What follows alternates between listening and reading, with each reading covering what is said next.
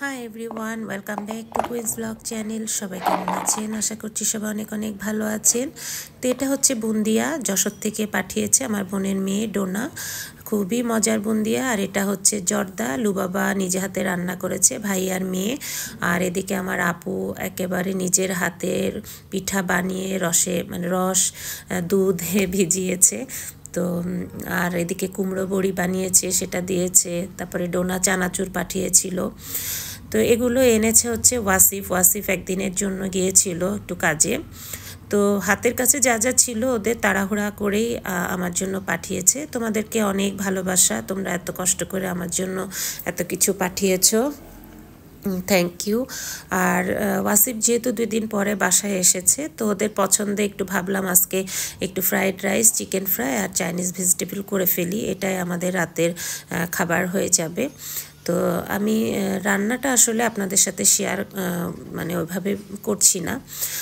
আমি একটা গল্প করব মানে কিছু কথা বলব আপনাদের সাথে, সেটাই আপনারা মনোযোগ দিয়ে শুনবেন। ওটার জন্য আজকে আমার এই ব্লগটা তো আমার তো জানেন সবাই যে দুইটা ক্যাট আছে, যারা আমার ভিডিও ইতিমধ্যে দেখছেন, দেখেন, তারা তো জানেন যে দুইটা ক্যাট আছে, একটা হচ্ছে স্পার্কি আর একটা মাইলো। স্পার্কি হচ্ছে হোয়াইটটা, ও হচ্ছে মিক্সড ব্রিড আর মাইলো হচ্ছে পার্সিয়ান। তো স্পার্কি আজকে সকালবেলা বাসা থেকে বেরিয়ে গেছে, তো এখনও পর্যন্ত ফেরেনি। তো ওটা নিয়েই বলছি যে আসলে ও কখনোই মানে মাঝে একবার বেরিয়ে গিয়েছিল তারপরে ওকে আবার ডেকে ডেকে আনি বা সানসেটে বসে থাকলে আমি হাত বাড়িয়ে অনেক সময় টেনে ধরে আনতে পারি। তো আজকে ও বেরিয়ে গেছে, আমি বুঝতেও পারিনি, আমার কাজের খালাটা কাজ করছিল। আমি সব দিকে কিন্তু দরজা জানলা আটকে রাখি। আমি একটা বারান্দায় কিন্তু ক্যাট প্রুফ করেছি, আর দুটো বারান্দায় করিনি, কারণ আমার তো কাপড় চোপড় মেলতে হয়। সেজন্য আমি আর আমাদের সামনে দুটো বারান্দায় মানে ওয়াসিফের রুমের বারান্দা আর আমার বারান্দাতে আমি কোনো ক্যাট প্রুফ করিনি। আমার কিচেনের জানলা দিয়েও কিন্তু স্পার্কে অনেক সময় বেরিয়ে যাওয়ার চান্স নেয় আর কি, ওখানে বসে থাকে। তো আমি আর কি করব? এভাবে এখন যেহেতু বের হয়ে গেছে, তো কিছু করার নাই। অপেক্ষা করতে হবে। সবাই বলছে যে ফিরে আসবে। তো আমি এখানে যে দেখতে পাচ্ছেন, এটা ফ্রাইড রাইস রান্না করছি। এখানে পেঁয়াজ দিয়েছি আর গাজর মানে গ্রেট করে রেখেছিলাম, দিলাম। আর এখানে সুইট চিলি সসটাও একটু দিয়ে নিচ্ছি। তো এভাবে আমি আর কি ফ্রাইড রাইসটা করে নিব। আর সাথে সাথে গল্পটা করব। তো যখন বেরিয়ে গেছে তখন কিন্তু আমি দেখতে পারিনি। হঠাৎ করে আমি আমার কাজের খালাকে বলছি যে, খালা, স্পার্কি কই? ওর তো কোনো শব্দ শুনছি না। পরে তাকিয়ে দেখলাম যে, কোনো দিকেই নাই। তখন আমি বুঝতে পারছি যে ও বের হয়ে গেছে। এই দেখেন, দেখছেন? কি একটা অকাজ। মানে আমি কোনো সময় ভিডিও করতে গেলে কখনোই আমার ভিডিওর মধ্যে সুন্দর করে কোনো কিছুই হয় না। যে হাত থেকে বাটিটা পড়ে গেল স্লিপ করে। আমার যদিও আমার হাতটা ভেজা ছিল। যাই হোক আমার হাতে ব্যায়াম হয়েছে। আমার আম্মা বলতো, হাতে ব্যায়ামও হয়েছে, হাতে ব্যায়াম হয়েছে। তার মানে হাতে রোগ হয়েছে, হাতে জোর নাই হ্যাঁ? সেটাই আর কি বোঝাতে চেত। তো ওই, ওটাই আর কি আমার হাতে এখন কোনো জোর নাই। বয়স হয়ে যাচ্ছে তো। তো যাই হোক একটু মজা করলাম। আম্মা কি বলতো সেটা একটু আপনাদেরকে বললাম। তো স্পার্কিকে আমি সেই সকাল থেকেই বারবার ডাকছি, ওর ডাকও আমি শুনতে পাচ্ছি, যখন ডাকছি তখন সাড়া দিচ্ছে।